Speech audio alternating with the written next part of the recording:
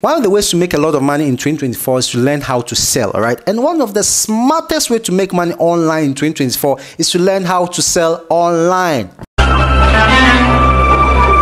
Look, I've realized that especially in December, you see a lot of African Americans or African diaspora. I mean, like Africans in America, in UK, I mean, all over the world, they come to Ghana and you see them going to, how do you call it? They will go to places like Trade Fair, Jamestown, purchasing uh, artifacts, um, African made clothes, kente, baskets, I mean, locally uh, weaved baskets and shoes. Look at, they'll, they'll be getting a lot of African made stuffs, all right? And you think, oh, this product nice, they are going to give it as souvenir to their friends and family or, or distribute them to their community. My guy, they lie. Actually, they are going to sell.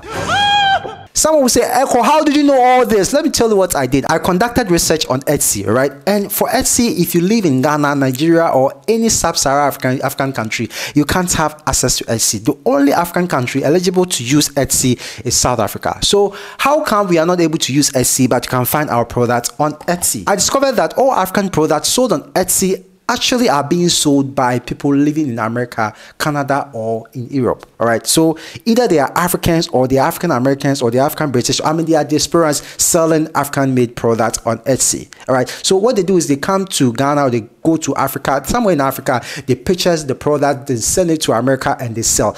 One funny experience I even had on the platform is one lady telling me that I was trying to buy a bead, all right? Locally made beads, I can just get a bead in Ghana, but I was just trying to do research. So I asked her, hey, do you have this bead available? I said, no, I don't have it, but I can contact my local shop in Ghana. They will bring it in a matter of four five days. Like, hey! so since you can't have access to Etsy as a Ghanaian or Nigerian, let me tell you how you can also sell your locally made products to US markets. The site is called powershop.link. Powershop.link. Power and shop. The link simply means linking you and I to the American market and Canadian market. I mean, you get me? So if you are someone who is into locally made clothing, shoes, bags, anything African, create your own shop or create your own store on PowerShop. The link, all right, and your product will be sold in US. All right, the product will be accessible to anyone in US. All right. So what they do is whenever they buy your product, you ship it through Ghana Post. You take a tracking number, you put on the platform, and then the person gets your product. All right. So it's like